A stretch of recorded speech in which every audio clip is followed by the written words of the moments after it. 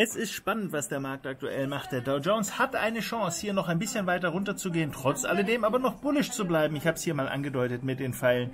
Es sieht also eher noch aus, als ob es nochmal nach unten geht. Und das deutet sich hier ebenfalls ein bisschen an. Hier die Abwärtsbewegung, das Wackelige nach oben und dann der Schub nach unten. Der Trendkanal, der ist versetzt, den soll ich so lassen, denn den brauche ich gleich nochmal, um zu zeigen. Das haben wir erwartet beziehungsweise die blaue Linie ist es dann nachher tatsächlich geworden. Die hatten wir dann auch schon eingezeichnet, um einfach mal so zu vergleichen. Was haben wir bis jetzt und was erwarten wir? Der Pfeil ist nach unten, dafür müssten wir allerdings natürlich noch getriggert werden für alte Hasen. Überhaupt gar kein Problem. Das ist ja eigentlich das, worüber wir so häufig reden. Also es ist eigenartig, ist denn heute Mittwoch? Es sieht doch gar nicht nach Mittwoch aus. Wir haben doch eigentlich heute Freitag. Und ist das Mano-chan? Mano-chan?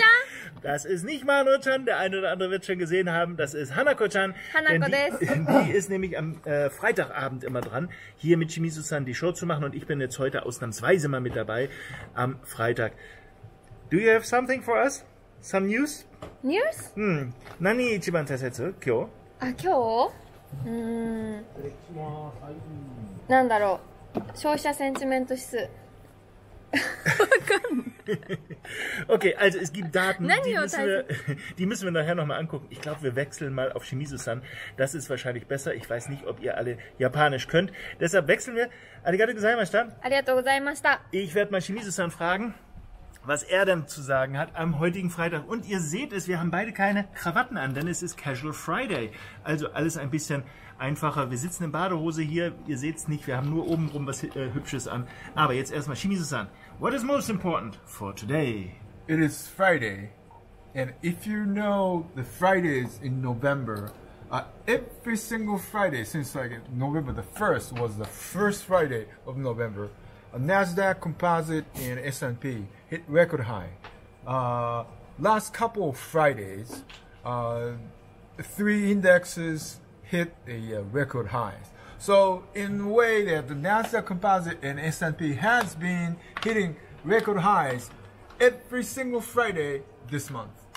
And today, uh, we, they're coming into the market a little bit lower, about 0.5, 0.4% for the week. Uh, it might be a little bit difficult for them, but anything could happen. At this moment, we have a European market. Uh, stocks are higher because the European uh, European currencies are a little bit lower because of a little bit disappointing PMIs. Uh, so, um, I have at this point uh, Dow, uh, it, S&P U.S. futures are trading. If I see it, it uh, they are trading a little bit higher uh, for the moment. Anything could happen, but chances are that it's uh, supposed to be a uh, record high making Friday for U.S. equities. We'll see how it goes. You think so? Well, yeah, it's a, let's let's see it. Let's well, let's the- wait for it. There's something that the trader needs to know is what's been happening in the past is not a guarantee for the future. Indeed. I thought I did a really good thing. Okay, remember that one. Right? good, good luck in trading, and uh, if I don't see you, have a good weekend, and we'll see you Monday. Thanks a lot. Arigato gozaimashita. Also, ich werde das nochmal schnell zusammenfassen.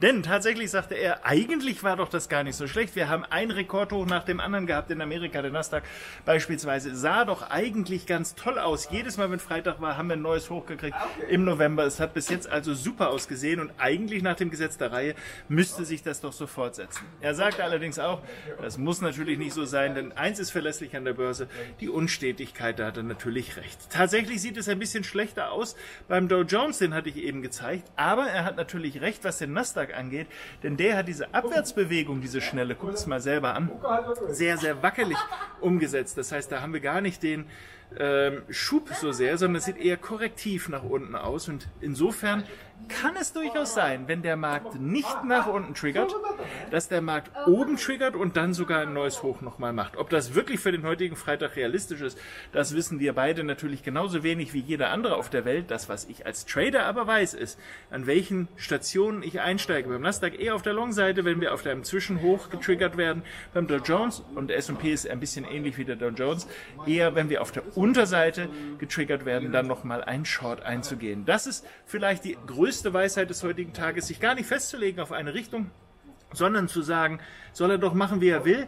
Der eine Markt ist etwas bullischer, da würden wir die Long-Seite spielen. Der andere Markt ist etwas äh, äh, bärischer, da würden wir die Short-Seite spielen. Wenn, und das ist ganz wichtig, der Markt das auch wirklich getriggert hat. Das Niveau. Wie das geht, haben wir oft genug gesprochen. Eben habe ich es im Chart gezeigt schon. Aber das werden wir dann nochmal sehen. So, wie immer machen wir unseren Dreier-Shot am Ende nochmal. Es ist Wochenende. Happy Weekend to everyone. Natürlich einen, einen guten Handelstag nochmal und dann gute Erholung. Wir sehen uns nächste Woche wieder. Bye, bye. Toi, toi, toi. Toi, toi, toi, hold sticky. I said that.